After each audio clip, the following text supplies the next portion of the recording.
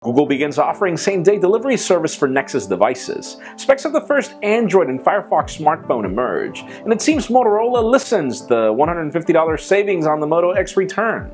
I'm Jaime Rivera, and how about if you carry the whole Friday joke for next week? I'll definitely take a look. This is Pocketnow Daily.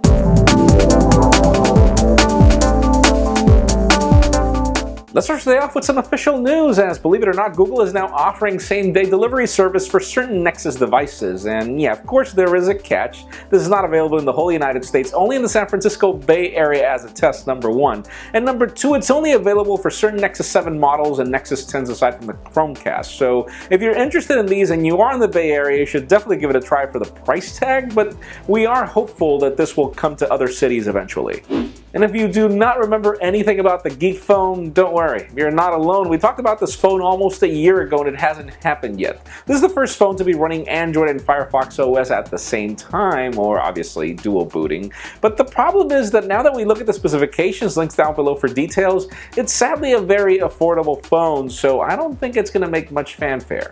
And if you thought that Samsung had enough names on their products, you're wrong. They have more in store according to some rumors, as apparently the company will now be adopting the names Lite and Pro into their products in the future. So you could be seeing a Samsung Galaxy Note 10.1 Lite and a Samsung Galaxy Note 10.1 Pro coming eventually. And we could probably add some more names by the year 2015, so stay tuned as this is going to be a very hilarious 2014.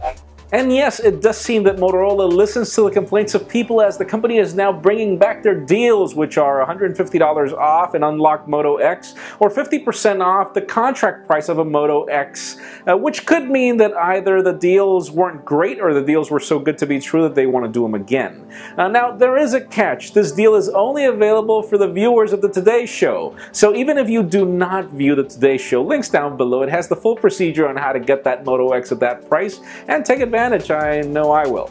And finally, for the very interesting news of the day, Chris DeSalvo, which was one of the primary engineers of Android back in the early days, has just come on record with a little story of how the whole iPhone launch in 2007 came to change everything that they had worked on when it came to Android. You know, these people came from Danger Inc. and then they eventually started the whole project of Android. And apparently, this was going to be more of a BlackBerry sort of device. There's actually a link in the description for the video uh, where we see Sergey Brin showing showing us that phone, which was made by HTC back then.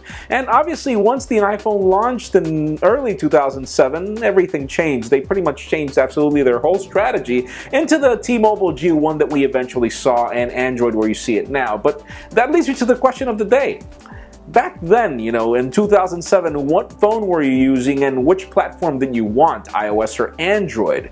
In my particular case, I was using a Motorola Q9H, I believe, which was one of my favorite phones of all time, and I didn't really care about the iPhone. I wanted to stick to Windows Mobile, but leave us a comment down below. What was your case?